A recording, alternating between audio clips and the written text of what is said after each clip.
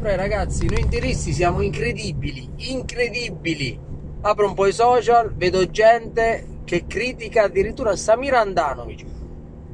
L'unica pecca di Andanovic è che non è fortissimo nelle uscite alte, si può criticare tecnicamente, a volte nei tiri, ma a volte perché la maggior parte delle volte è miracoloso. Ogni tanto guarda la palla entrare, neanche si butta, ma non è questo il periodo.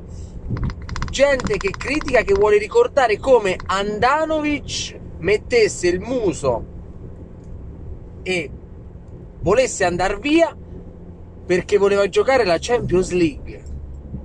Cioè, qua stiamo parlando di persone che vanno via o possono andare via o mettono il muso o fanno le ripicche perché vogliono più soldi, mentre lui, giustamente, come qualsiasi persona al mondo, ambiva a qualcosa di meglio, non qualcosa di più in fatto economico.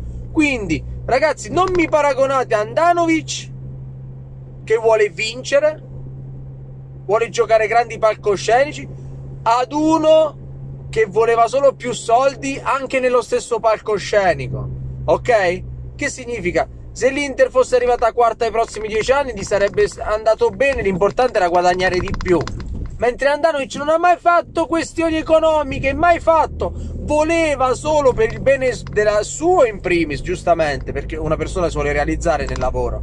Io per primo e per la squadra voleva giocare la Champions League, voleva, voleva, voleva, giocare partite prestigiose e giocare in palcoscenici blasonati. Quindi, ma come mi fate a, a criticare Andanovic a ritirare fuori gli scazzi che aveva avuto? Perché nell'Inter si giocava con Jonathan, con Vilà, è normale. È normale, è normale che uno si incazza, si scazza, se ne vuole andare, Cribio è normale. Adesso siamo incredibili. Icardi non va bene, vuole i rinnovi ogni anno, la moglie, la cosa, la vacca della moglie.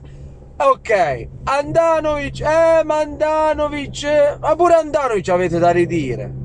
Che dite voi? Chi volete? Chi volete? Gesù di Nazareth, chi volete come capitano? Padre Pio, mettiamo Padre Pio. Mettiamo Padre Pio come capitano dai! Ovviamente per chi me l'ha chiesto, Inter Rapid Vienna, ragazzi, non, io non faccio i video di pancia e di cuore, quindi no, non mi ha ispirato nulla quella partita.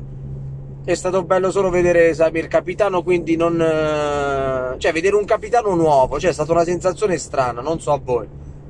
Però, ragazzi, mo non iniziamo i fan, le fan, perché queste sono prerogative delle donne, fan di Cardi che criticano Andanovic. Ragazzi, se Cardi ave- avesse avuto la gobba e il naso a becco, non, non sareste così fan di Cardi, ragazze. Quindi non facciamo le pagliacciate. E andatevi a guardare Danilo D'Ambrosio al posto di pensare ai Cardi, dai.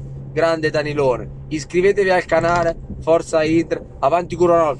Un'altra cosa, io non parlo mai di queste cose sul web, però ieri per la prima volta è stato fatto entrare in, in Europa, in, fuori l'Italia sono molto più avanti.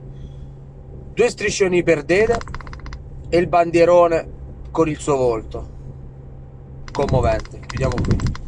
Per la prima volta, perché in Italia non si, possono, non si può ricordare un amico. Punto e basta. Ciao ragazzi.